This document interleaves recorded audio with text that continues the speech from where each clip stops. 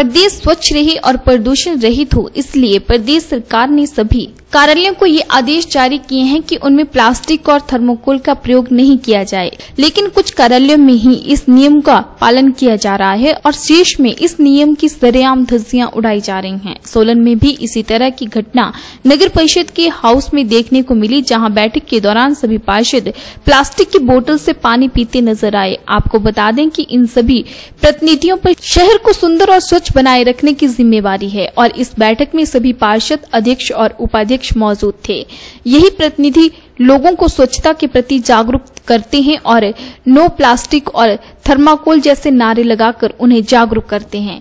जब इस बारे में कार्यकारी अधिकारी सुधीर शर्मा से बैठक के दौरान प्लास्टिक की बोतलों का प्रयोग करने का पूछा गया तो वह इस बात पर निरुतर नज़र आए और बाद में प्रतिनिधियों पर इस बात का ठीकरा फोड़ते नज़र आए और कहा कि शायद उन्हें इस नियम के बारे में उन्हें कोई जानकारी नहीं थी, लेकिन भविष्य में इस बात का ख्याल रखा जाएगा और प्लास्टिक की बोतलों का प्रयोग न किया जाए, ये सुनिश्चित किया जाएगा।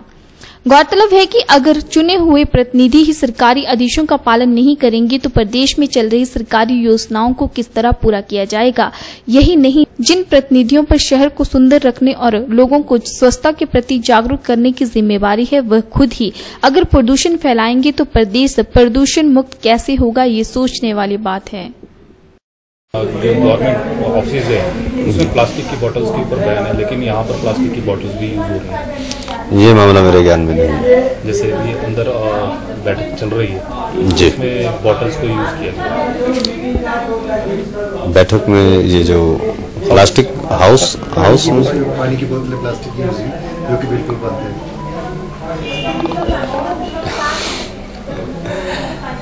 ये अभी व्यवस्था जो है शायद इनको मालूम नहीं होगा जो पानी यहाँ व्यवस्था की गई है। इन्हें भविष्य में निर्देश दिए जाएँगे, जो सरकार की अधिसूचना है, उसी को अनुपालना करें और इस प्रकार प्लास्टिक की कोई भी सामग्री का इस्तेमाल ना करें।